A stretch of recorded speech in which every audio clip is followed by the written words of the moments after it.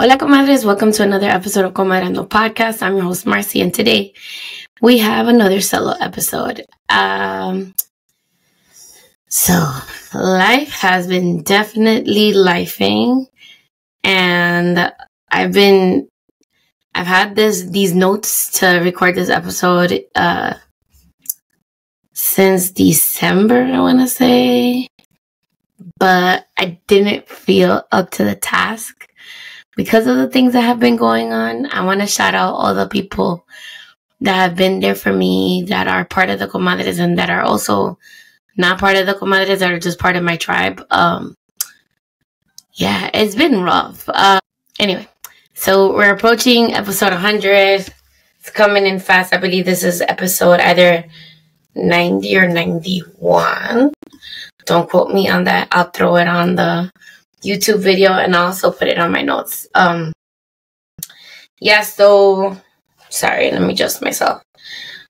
So the show is still, you know, going strong. I I put up an interview last was it last week? No, the week before last. Um, with Al Lauren, who's a martial arts teacher that works with children on the spectrum that was a great interview. I got a lot of great feedback about it. I'm actually, you know, looking into martial arts programs here in New York City that take children that are on the spectrum as well. So I can put Aiden in. Um, let's start off with some good news. So I just got Aiden's report card back and your nephew is averaging 83% in all classes.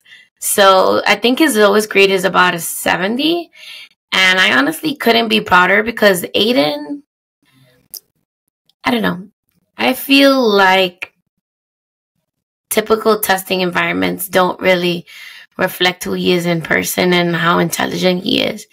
So um, I'm glad that he is having alternative assessments and, and he is taking quizzes in school and he's doing really well. But this 83 means so much. It might as well, it might as well be 100 because you know he really is trying really hard and he has adjusted so well to being in high school and being in a different environment and working with different people. Um, i don't know if i've spoken about this but his school high school is actually very similar to a typical high school in that the kids actually transition and they go to different classes. They have multiple different teachers throughout the day he still is accompanied by a one to one paraprofessional. However, he's pretty much independent. The person is there just there to prompt him, to remind him of where he needs to go.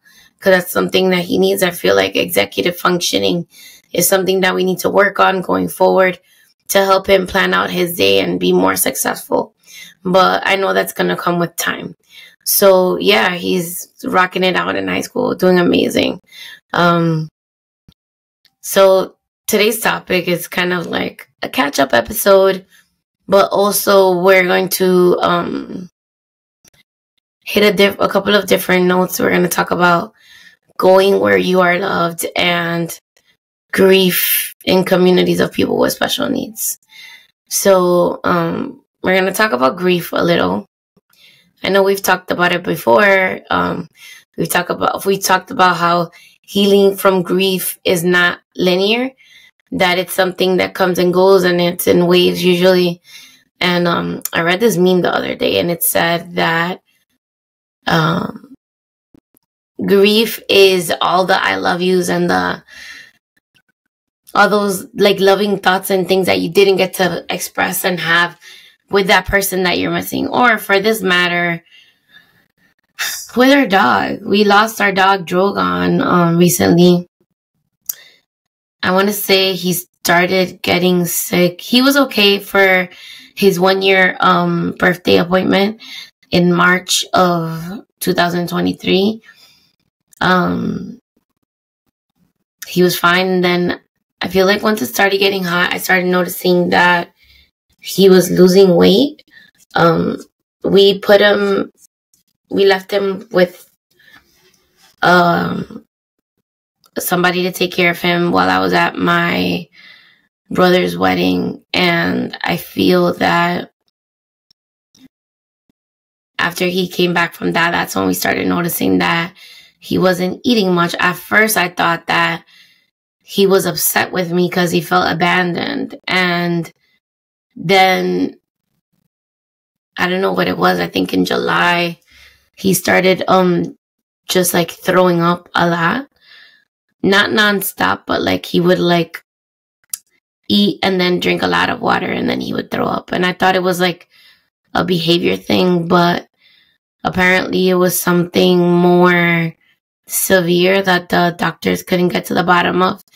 So, you know, thousands of dollars later, um, they did all, all kind of like blood tests and send things away. And, and the last thing that they wanted to do was to do an endoscopy. But at that point, I felt that Drogon was too far gone to continue with all this testing, especially because he was basically emaciated. He had lost so much weight. Um, from March, I want to say from June to December, he had lost about 30 pounds. Um, and that's a lot for, he was basically a puppy. He wasn't like a full mature adult dog yet. So, um, yeah, that was rough. And you know, seeing him waste away and then we're like trying to save him, um, it gave me flashbacks, and I'm sorry if I got teary eyed, but it gave me flashbacks a little about like when my dad was sick with cancer. So yeah, no, it was it was it was devastating and then seeing this poor defenseless creature just get worse and worse and there was nothing that we can do. Um he was taking medicine at the end and we didn't really notice that the medicine was making any difference. So he got really, really, he wasn't doing well at all, actually. And um, one weekend, um, I had to like rush him to to his um, doctor, and they were doing um, what is it called?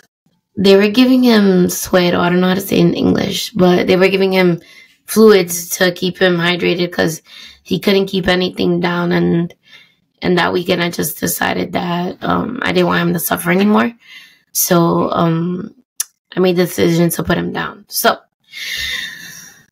it was a rough weekend. I spent the morning with him, and I took him to I took him to the I took Aiden went to the visitor. I took him to the vet, and um, you know, I had already called them to let to let them know I made the decision. So they were basically prepared for us. One thing I do want to say is that that vet, they were very accommodating and they had set up the room and everything and it was very a very peaceful chilled environment um you know to do something like that so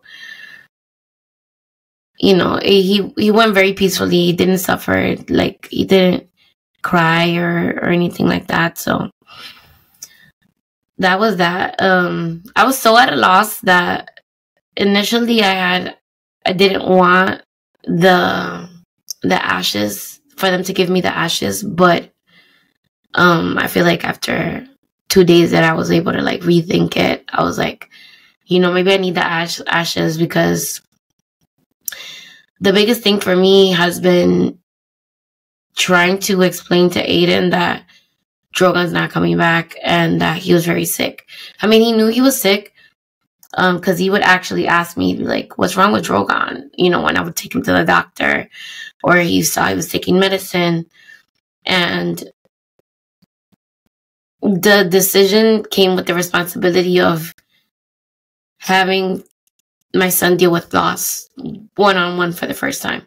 He has lost people in his family from his dad's side who he really wasn't close with. So it wasn't really anything that he was internalizing just yet. Um, so dealing with that has been a lot for him. Um, he didn't really cry.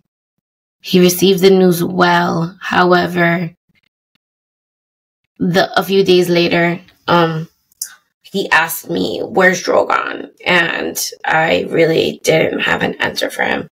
So that was rough. And this is why I really wanted the ashes.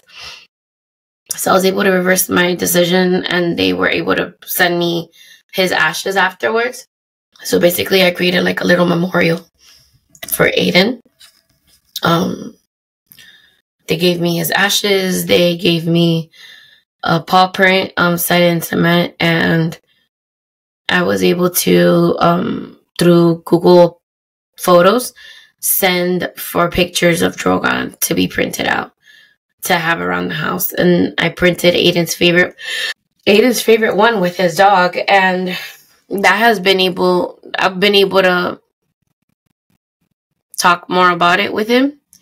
And um he does ask for him occasionally, but um I remind him that Drogon's in heaven and he's not you know, he's not gonna come back. Um and he's okay for now. Yeah, so it one of my biggest questions that it was like for me when we went through that was how how do I conceptualize death and and loss and make it make something so intangible tangible in a way um and how do I make space for him to grieve and and hold space for him while similarly like simultaneously grieving myself so yeah, it was rough. Um, he passed on December, I want to say the 9th. Sorry, let me look it up. It was either the 9th or the 12th. I'm drawing a blank right now. Yeah, I, I, it, it, he passed on the 10th, um, of December. And yeah, no, we've been working with each other and, and helping ourselves heal, I decided to do a sadhana for loss um, to help me deal with the grief myself. Um, yeah, so so far so good. Um, thank you to all that reached out. Uh, I want to shout out my friend Claudia and my friend Ami for being there for me because they've, well, Claudia lost a dog, um, and Ami is a dog mom as well, and they were able to be there for me and kind of, you know, walk me through the process a little and hold space when I just needed to talk. Also, shout out to my friend Jasmine, has been on the show as well. Yeah, so that was one of the biggest things. Um, among that, there have been joyous things like um, Mami Chula is back, um, the social club. We have a membership uh, people pay to be a part of the membership and they're able to participate in monthly events. Right now, we're capped at membership because we want to, you know, kick it off with a small group of women that we're going to provide high quality experiences for. Um, but Claudia has been doing a phenomenal job and we just had our first two events last week. Um, we kicked off the membership in December 25th, and then uh, we've been doing all these other things. Um, among them, we recorded a video um, for Instagram to advertise the the return of Mami Chula, which was super cute. It was like a Christmas theme one um, with Santa and all that, and I, yours truly was in there. So if you guys want to check it out? Remember, it's Mami Chula, Mami Chula Daco online. Um, yeah, so yeah, these events were so great. We first had a styling event, a styling 101. It was partnered with Nordstrom and we had a bunch of stylists there teaching women how to style their bodies and how to make their wardrobes work for them. And that was very interesting. I was able to participate. And then there was another one that took place in Sephora this weekend that I wasn't able to attend because I had previous engagements. But also, um, so this, I, I mean, I'm laughing now, but it was scary. So I've been dealing with health issues. Um, I don't know if you guys know, but I used to be very, I was severely overweight before. And I've gotten on my fitness and I've gotten better and I've gotten better at eating and all that. However, I want to say, I want, I don't even know how many months it's been, but I have been getting, I had been getting out of breath when I was like climbing stairs or going up a hill, like severely, like I had never been that out of breath in my life. And I'm just like, maybe since the last time I had COVID, something came up. I don't know. Also, I was being like a dude in the sense that I was literally not going to the doctor because I, since switching schools, I have been so busy and not making time for the things that I needed to make time for. And I'm honestly not going to blame the school. It's just, it's been all with me. So yeah, I hadn't been to the doctor and like, I didn't do my physical last year. That's all I'm going to say. I'm not going to admit how long I had without going to the doctor. But when I went that I was not feeling well, the doctor, um, you know, he's like, oh, your blood pressure is great. Your blood sugar is great. Okay, who's breaking your heart? Uh, whatever. He's very funny. He's from, I don't know what country. It's an Eastern European country. So he sends me to get a blood panel done. And then we're like talking. He's like joking with me. And then I leave. This was like last Wednesday. La- well, yeah, last Wednesday or something. I leave, whatever. Um, they said that they would have the, the, what is it? No, I think that was Tuesday. Tuesday. Yeah, Tuesday. And then Wednesday um, morning, they call me. They're like, girl. And I'm like, what? So the doctor's like, your hemoglobin level's at a six when it's supposed to be at 12 to 15. So I'm like, what? Like, what do you mean? Because, you know, as, as part of women's monthly health things, like we do lose blood, but I didn't feel like I was losing much. So, um, basically with the hemoglobin so dangerously low, it's, if you don't take care of it, your body can go into shutdown mode. So doctor was like, yeah, you need to get your butt to the doctor, to the hospital ASAP and get a transfusion. I was like, come on, you're being dramatic. He's like, no. He's like, do you want to live? I'm like, okay. So I guess I do have to go to the doctor. So I'm at work. I'm like, oh my God, do I, like, what do I do? You know? So, um, I spoke to my supervisor. We're trying to decide whether I should take Thursday off or Friday. I ended up settling for Friday to take off. Um, so we go through all the motions, whatever. I leave everything ready. I left my coworker ready and I head to the hospital to get a transfusion then. Unbeknownst to me, it was, I mean, known to me, but not uh, like unbeknownst, I wasn't holding this like at the front of my brain. Basically, it was a full moon. And teachers know what goes on in the classroom.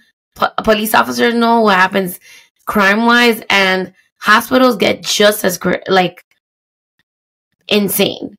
Um, so the hospital I went into Columbia Presbyterian here on 168. And basically, there was a line to check in.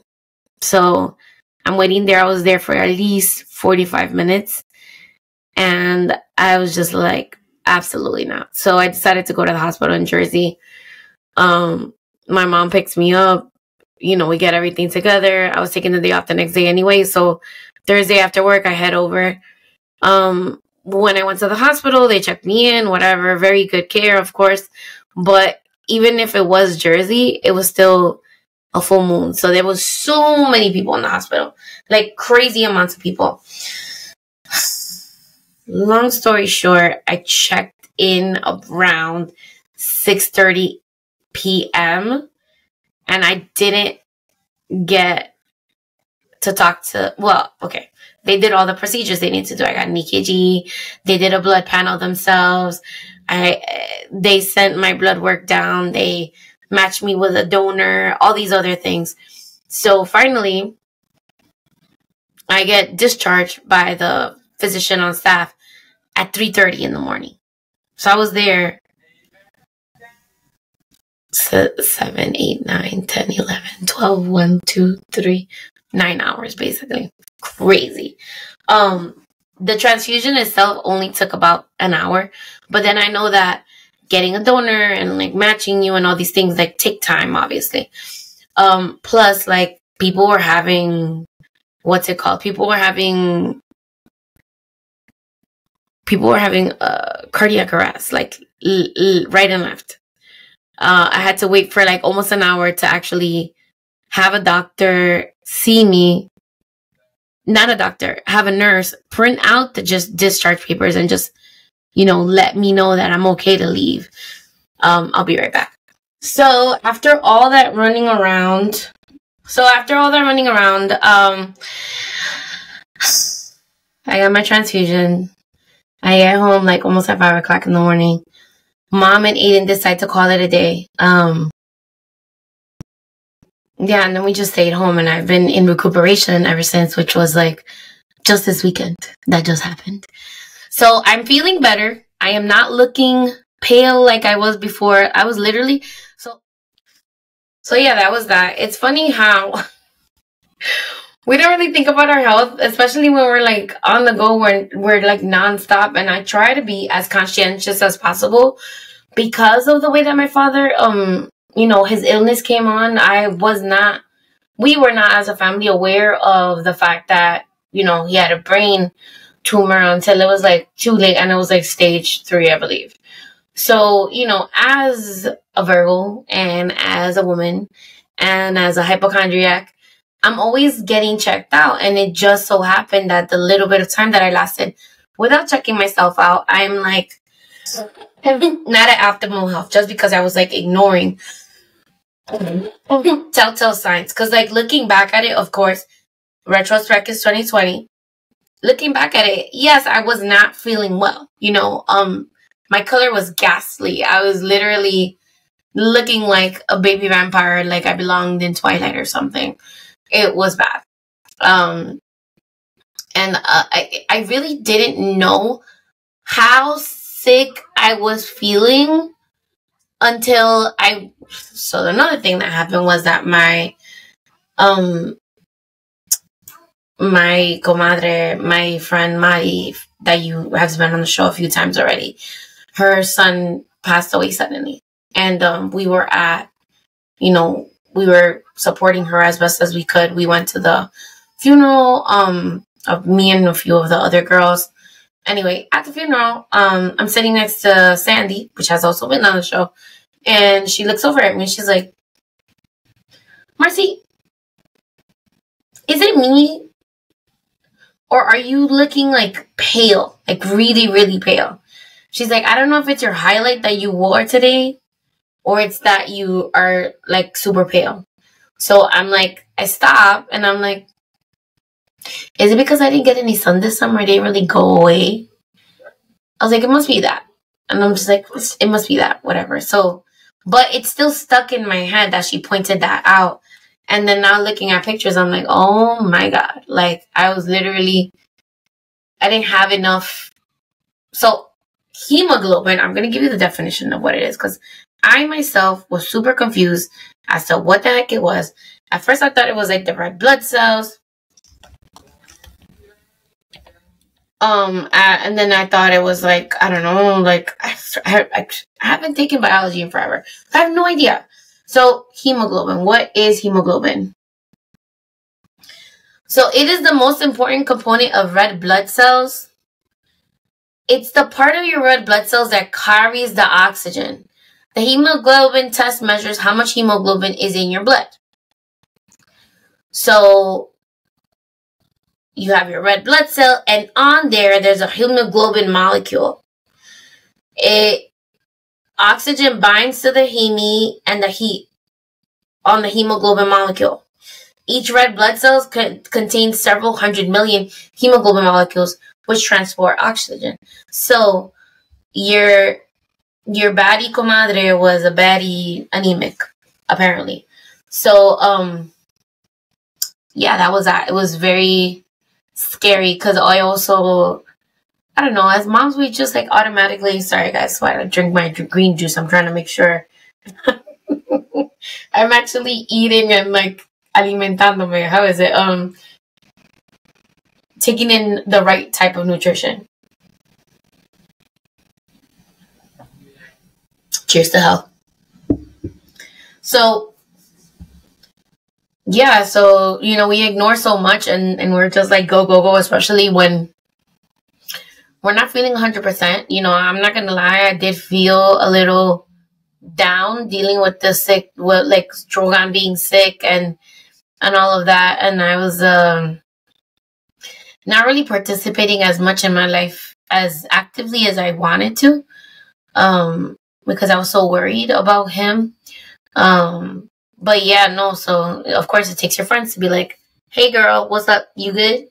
For you to be like, uh, "Oh, maybe I'm not good." So after I heard, after Sandy told me that, and then of course, I went out with someone. Shout out to that person, and uh, we were going up a hill together, and I was like literally out of breath on a hill that I'm used to going up all the time, and that when I'm at my optimal health, I can like run up the, well, not run. Okay. We're going to get there eventually. But I can like quickly walk up the hill without becoming like super out of breath. Um, yeah, so I made an appointment with my doctor immediately. I was like, yeah, not feeling too great. I don't know what's going on. Yada, yada. So then that happened. But I'm glad I was able to take care of it with time and then now this opens up more questions. Because now, like, what's causing it? I, am like, you know, what else is going on? So I'm uh, at the behest of the people at the um, emergency room. I made an appointment with a hematologist to make sure that everything else is good because everything else in the blood test in the blood panel reads normal.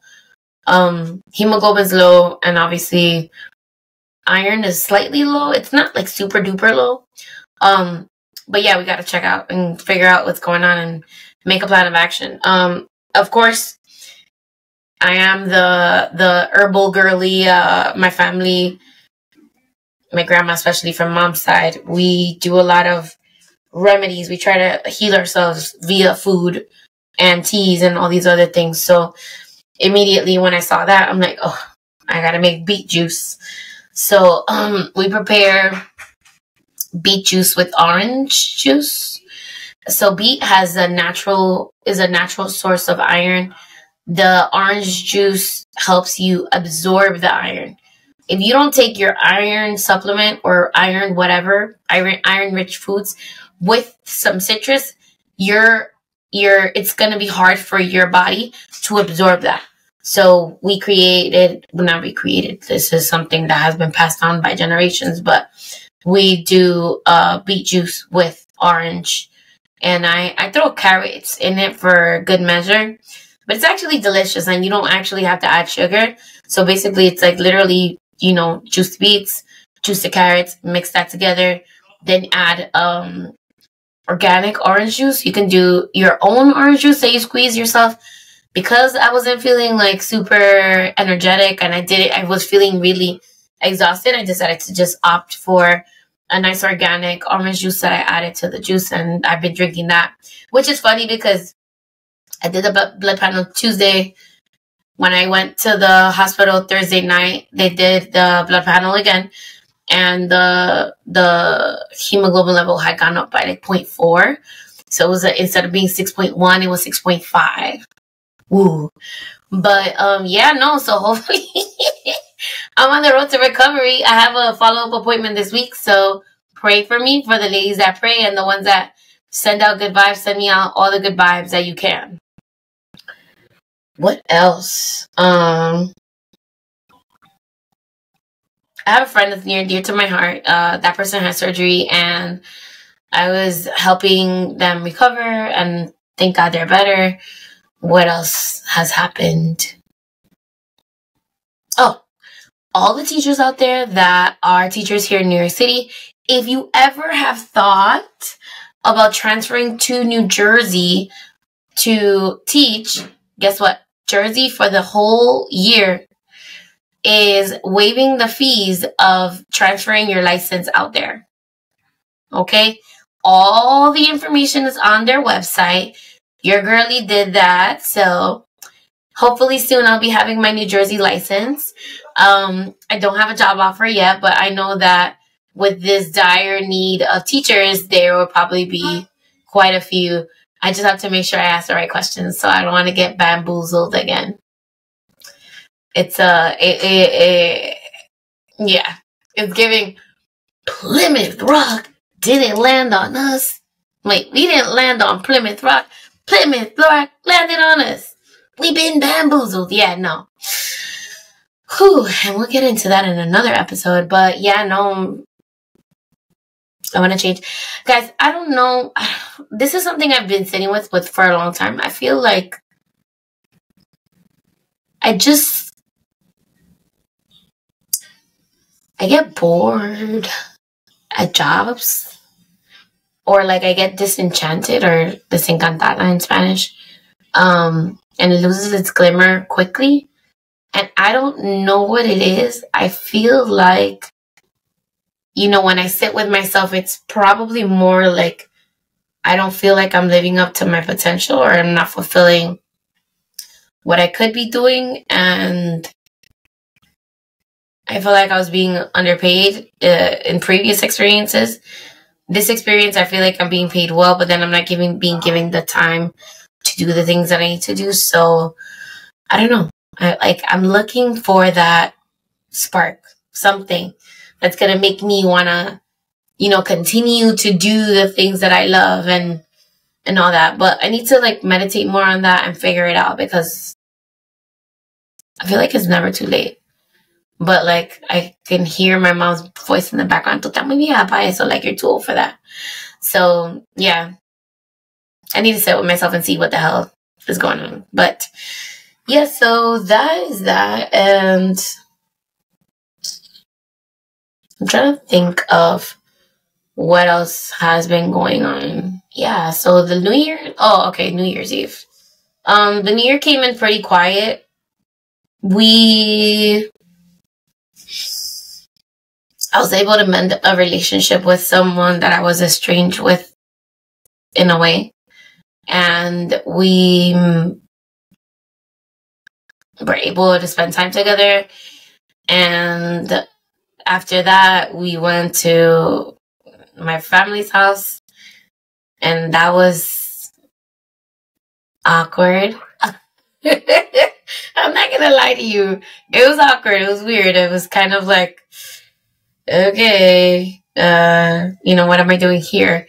Um, you know what I have decided, and I did have a conversation with my mom because, like, I know she would love for me to be like all lovey dovey with these people, but the thing is that I set the standard with how I allow people to treat me by how I stand up for myself and what I put my foot down to. So I'm tired of being the bigger person. I'm tired of, you know, giving everybody the benefit of the doubt. Like, you said what you said, then you're gonna stand in that, and I'm not. I'm not making excuses for you, unless you come to me directly to have a conversation and apologize. I'm not doing the work. I'm not. I'm not stepping out of my little comfortable bubble to approach you and and and try to have these conversations because the thing is that people get used to you being the bigger person all the time and then they feel like it's your obligation to do that and it's not it's really not because if i didn't do anything to to damage the relationship then i shouldn't be held accountable for mending that if you don't feel like you did anything wrong that's cool with me if you feel like you did something wrong that's cool with me too but like, we're not doing this back and forth. I'm not, I'm not, that's done. 40 years old, we're not doing that anymore. I'm sorry. And if that offends somebody, then if the shoe fits, wear it. Um, but yeah, so yeah, New Year's was weird. And then, um, it was just me, mom, and Aiden. And yeah, no, it was very reflective, very chill. Um, nothing that I can, nothing that stands out at the moment. Um, yeah, so um, with that being said, the tiredness and all of that, I'm sorry I'm jumping around, but we're definitely planning a vacation in the sun somewhere. Um, I don't know if it's going to be now or for spring break, but I preferably, I prefer for it to be now because I need it. Um, yeah, vitamin D levels are also low, but that's to be expected. Um, what is funny though that the report that said the vitamin D levels were low was saying how that it has psychological effects in people. And as we know, um, I suffer from like seasonal affective disorder. So this lack of sunlight plus, you know, not feeling all like 100% like boom, bam, it's smarty uh, has been like throwing me off really. Um, yeah. So as a new year started, I really became, uh, well, I'm not started, as it was approaching, I became a little bit more reflective about how I show up for people, you know, like I feel like this is all like now linked, right? This was a huge segue to get to the to the other part of the conversation that I promised we were gonna have at the beginning, which is um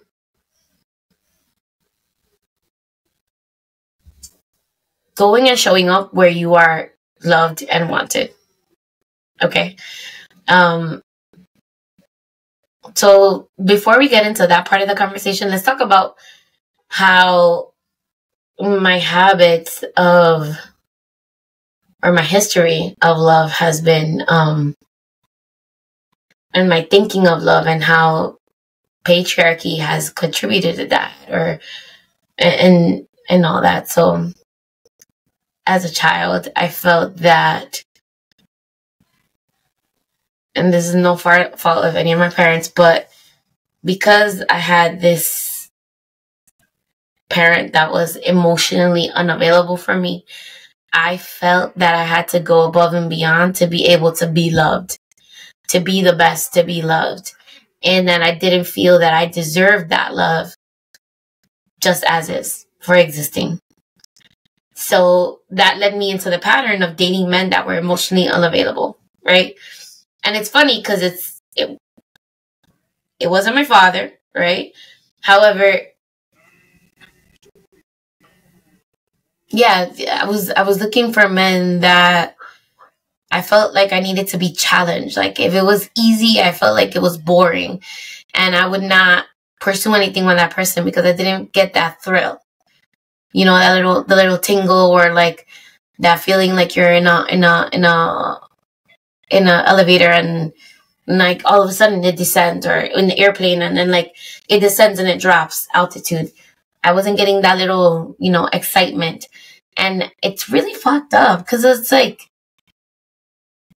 we all deserve love. We are loved. Like, we shouldn't feel like we need to work to be loved. We should be just accepted wholly as we are for the amazing people that we are. We shouldn't have to feel like we need to do work to be able to be loved. So you know and then this other this other concept of like women need to compete.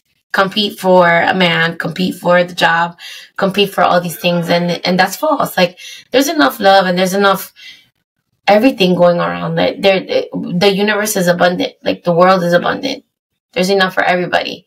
So the this this fallacy of us feeling like we need to fight each other for love, for acceptance, for, you know, abundance, for money, for that's that's that's not that's not how we're supposed to be.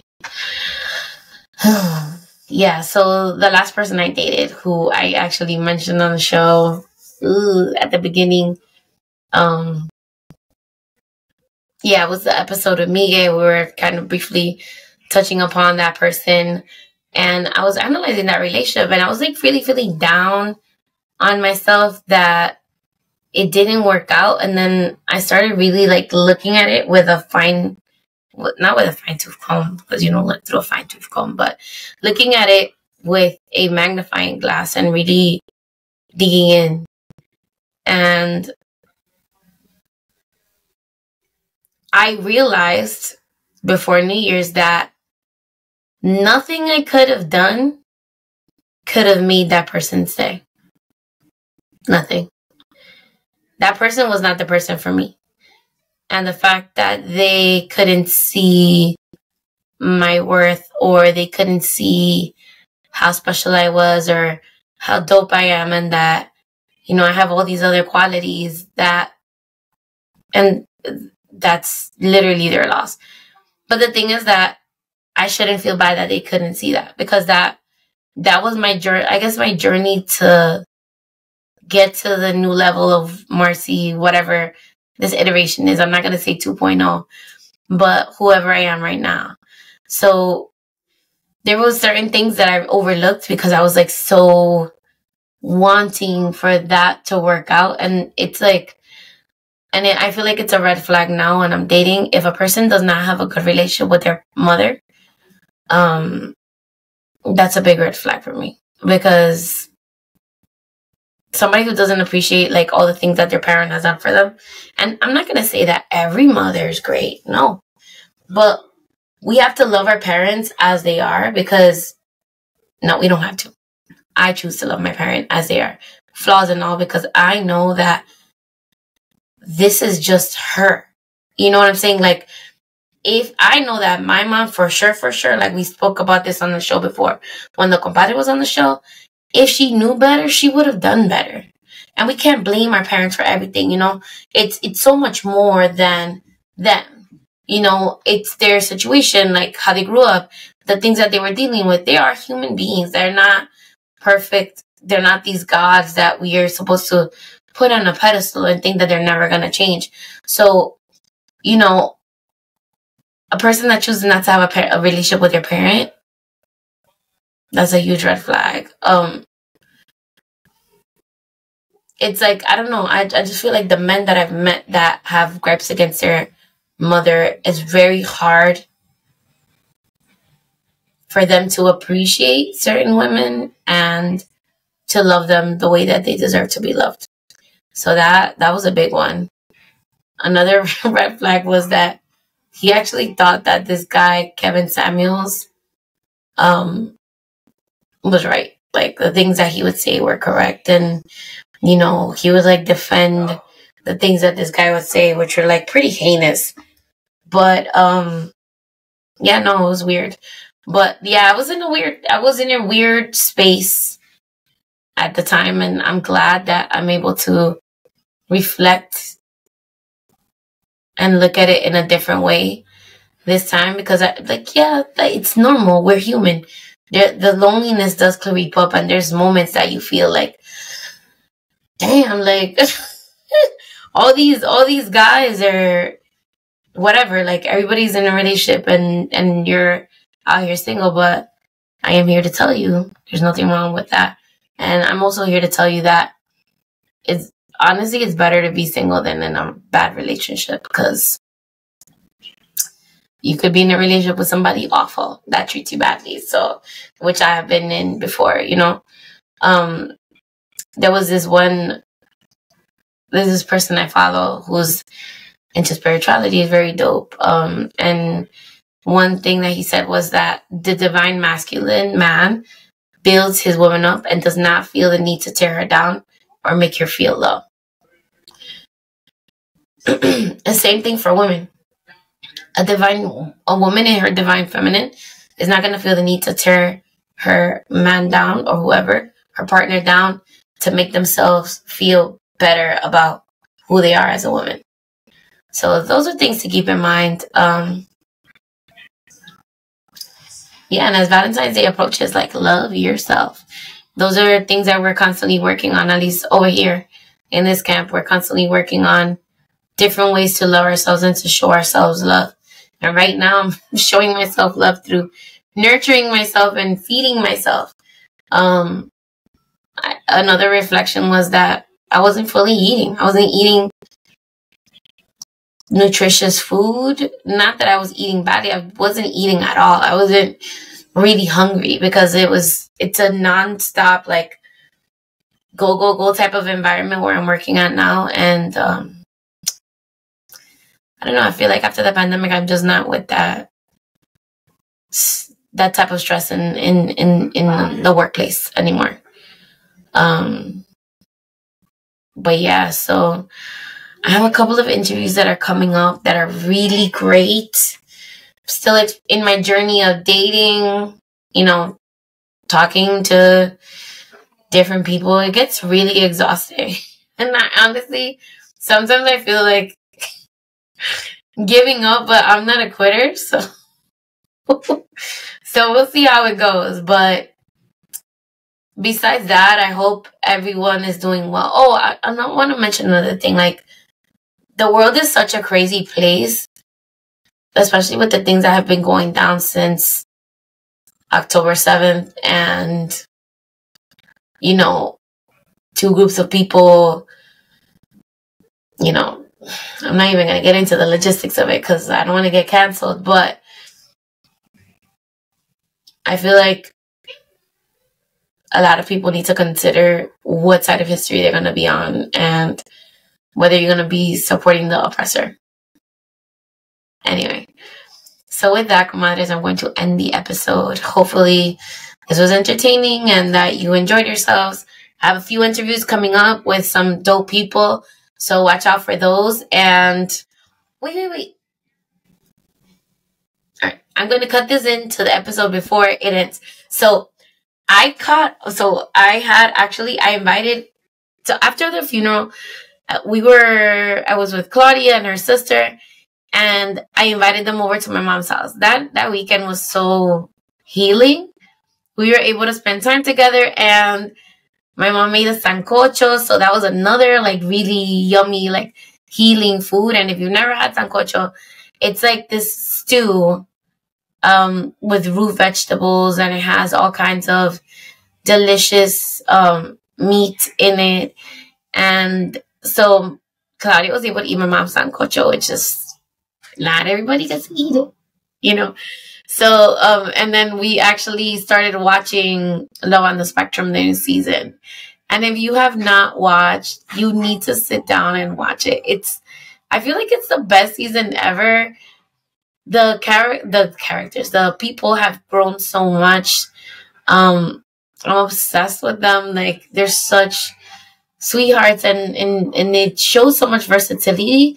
One thing I do want to touch on is the fact that Dani is so open about her sexuality and she's very vocal about expressing, you know, that they do get sexual desire. They're not children, they're adults and we should respect them as such. So, um, one thing that did like go off in my head as as I was watching the show is that we need to, I need to make a more concerted effort about teaching Aiden about sex. Not like, I don't know if I'm ready to do it myself. However, like making sure that he's getting that instruction somewhere and that, you know, it's aligned to what I'm okay with and I believe in, you know, because as as young adults, they get so much messages about sex from everywhere, but it's better for us to con- not control the narrative, but to be able to be present and know what they're learning so that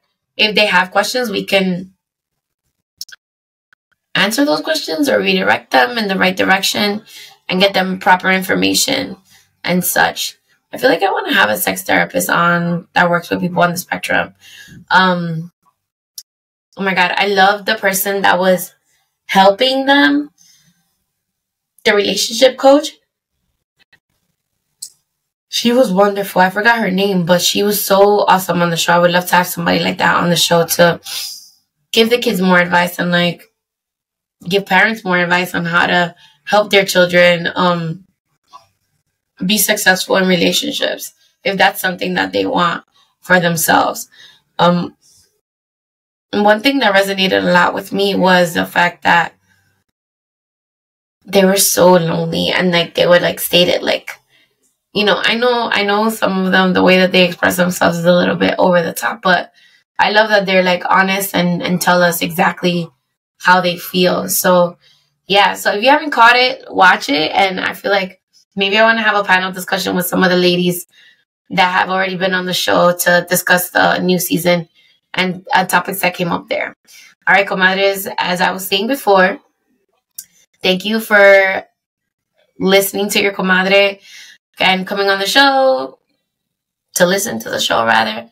Um, I'm going to end the episode here, how we usually end it, which is follow me at Comadreando Pod. And if you had any questions at all, make sure to send me a comadregram via email at marcy at um, or slide up into my DMs. I'm actually taking a personal social media break, but I'm still available via um, Comadreando Pod Instagram. Uh, don't forget to visit our website, which is www.comadreandopod.com to read our latest blog posts, find out about future events, events, and get your official Comadre merch. Thank you for spending time with your comadre. I'll see you guys next time. Bye.